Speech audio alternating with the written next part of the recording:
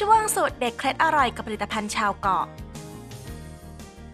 สวัสดีค่ะ พบกับช่วงสูตรเด็ดเคล็ดอร่อยกับผลิตภัณฑ์ชาวเกาะ วันนี้เรามีเมนูอร่อยๆ และแปลกใหม่มานำเสนอ กับเมนูที่มีชื่อว่า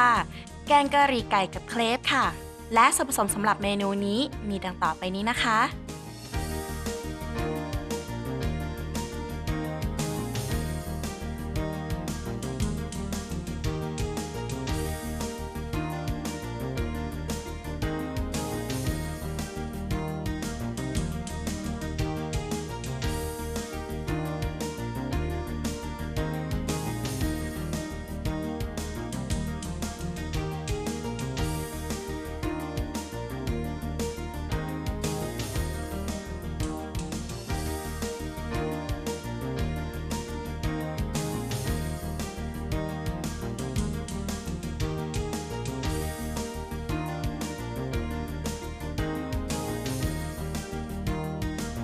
ขั้นตอนแรก ใส่พริกขี้หนู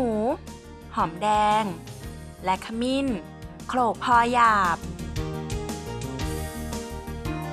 ใส่น้ำมันพืชลงในกระทะส่วนผสมที่โขลกเตรียมไว้ ใส่น้ำพริกแกงกะหรี่ผงกะหรี่ เติมพริกไทยป่น ผัดจนมีกลิ่นหอม จากนั้นค่อยๆ เติมกะทิน้ำสำเร็จรูปตราชาวเกาะ ลงผัดจนแตกมัน เติมเนื้อไก่ ผัดพอสุก ใส่กะทิน้ำสำเร็จรูปตราชาวเกาะ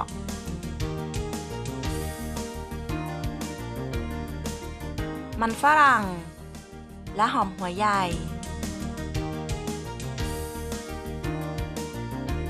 ปรุงรสด้วยน้ำตาลปี๊บ และเกลือป่น ใส่ตะไคร้และพริกชี้ฟ้าแดง เคี่ยวโดยใช้ไฟอ่อนจนส่วนผสมสุกนุ่ม จึงยกลง ตักใส่ถ้วย โรยหน้าด้วยหอมแดงเจียว จากนั้นเรามาทำในส่วนของเครปสำหรับรับประทานคู่กันนะคะ ผสมแป้งสาลีทำขนมปัง เกลือป่นวานิลาชนิดผง และน้ำตาลทราย คนผสมเข้าด้วยกันในภาชนะ เติมไข่ไก่ นมข้นจืด และน้ำ ใช้ตะกร้อมือคนผสมให้เข้ากันแล้วพักไว้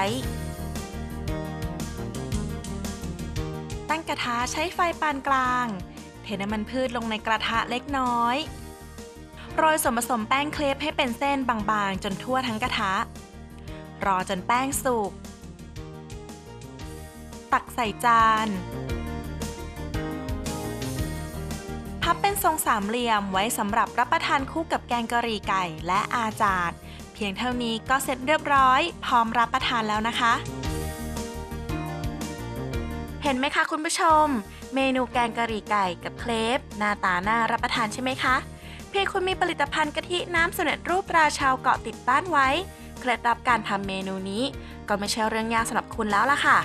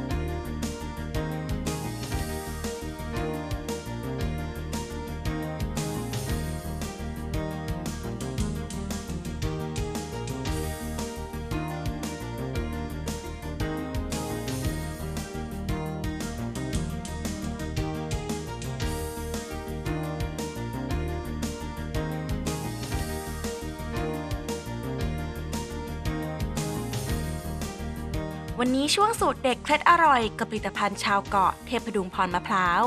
ก็ต้องขอตัวลาคุณผู้ชมไปก่อนนะคะ สวัสดีค่ะ